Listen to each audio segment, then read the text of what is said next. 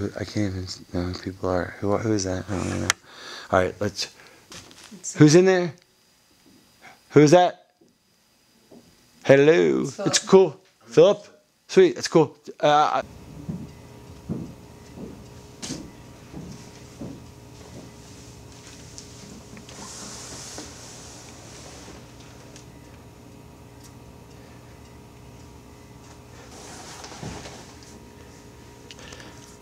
probably, her mom. You know what?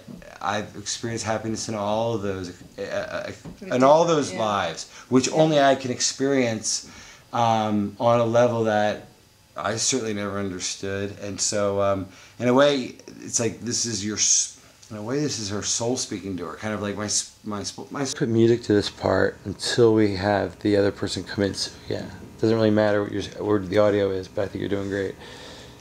In fact, I'm gonna get a lot of different angles and make a montage. She compliments you a couple times, so you can kind of look at your outfit because I know she points out some stuff like. There are a lot of cool things that you're going to be doing in your life, and it's a really great thing when you can surprise yourself. And I hope that that always happens for you. And it's it's a great thing when you can take a risk and have no idea what you're doing and find something in it that works for you and take it somewhere else. Take it somewhere completely opposite of where you've been. Just to try it.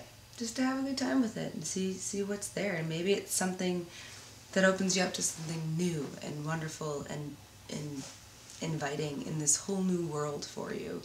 So take every risk, make every mistake, and and you know if you could do it again, just make a bigger mistake. Just have do it full force, do it 100% every day, all the time, and you know don't be afraid to to be different, and don't be afraid to to be everything all at once or nothing at all. You know, when you're angry, be angry 100%.